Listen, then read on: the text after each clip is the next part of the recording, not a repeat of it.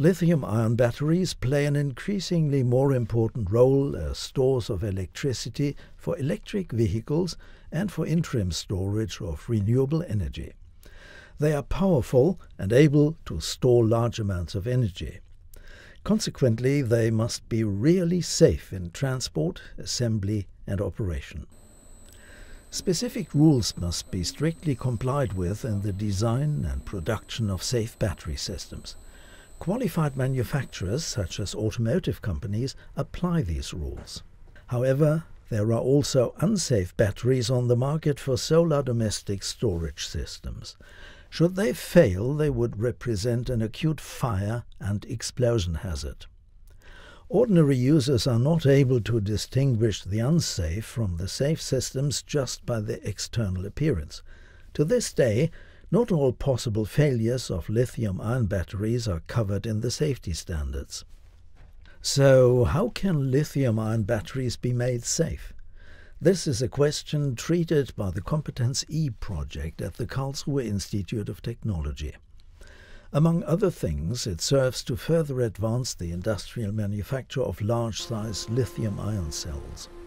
In addition, the scientists study the influence of manufacturing processes on cell quality and cell safety in a cell manufacturing plant of their own. Lithium-ion cells are made up of several layers of anode and cathode sheets which must be separated by a separator sheet like the one I'm holding in my hand.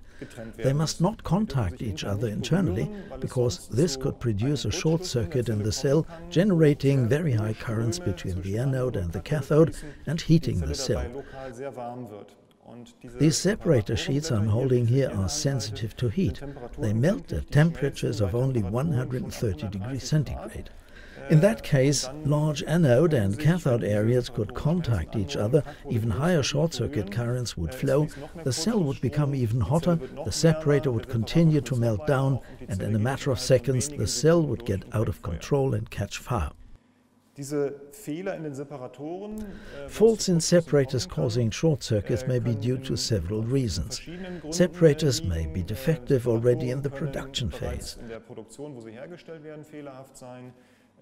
Dirt particles may be left on the electrodes during production and penetrate the separator.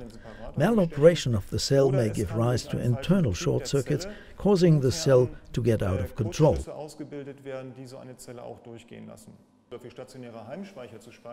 Stationary domestic stores of solar energy contain separators 1000, 2000 or more square meters in area.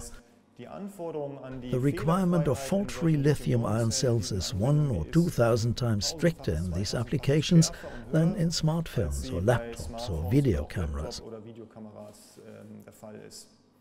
In some respect, this means new production technologies and much better knowledge of the fault mechanisms causing such a separator to break down than has been available in the past. There are a number of measures to be taken. First, these separators can be coated with ceramic particles which reliably separate the anode from the cathode even at high temperatures.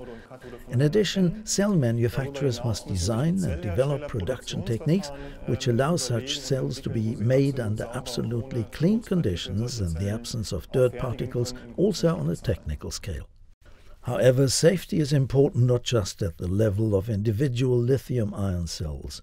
Also, when these cells are combined in a battery, the causes of safety problems must be recognized and removed.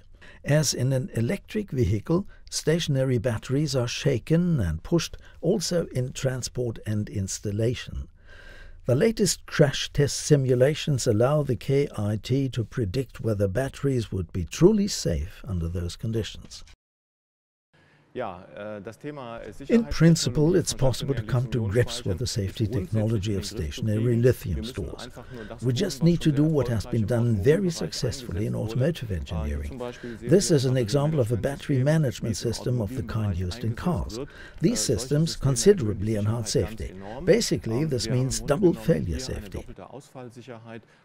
Transferring these automotive processes and structures from the development of large vehicle batteries to stationary home storage systems in the end would make your domestic storage system as safe as your electric vehicle. This must be our goal.